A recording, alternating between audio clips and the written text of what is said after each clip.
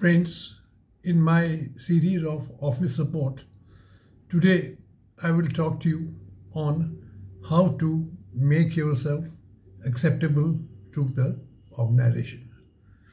You have got selected, you've been started going for work, you may have been employed as a admin assistant, secretary, or executive assistants.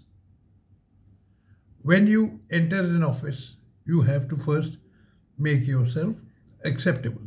Acceptable to the seniors, to the juniors. Let us start from the beginning. First thing is arrive to the office on time and leave when, as and when acceptable to the your bosses. Number two, dress appropriately. Number three, be sincere in your work. Be sincere in your talk. Do not have any kind of attitude.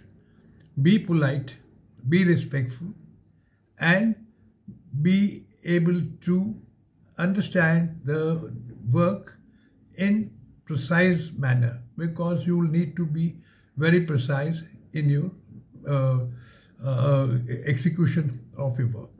So we will cover this in depth in my uh, Zoom session.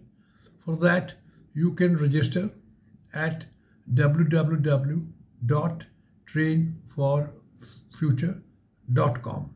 There, we will be able to talk in depth and how do you get acceptable in a corporate scenario. And it's very essential for an office support guy to be acceptable in the office scenario. So this is just an introductory video.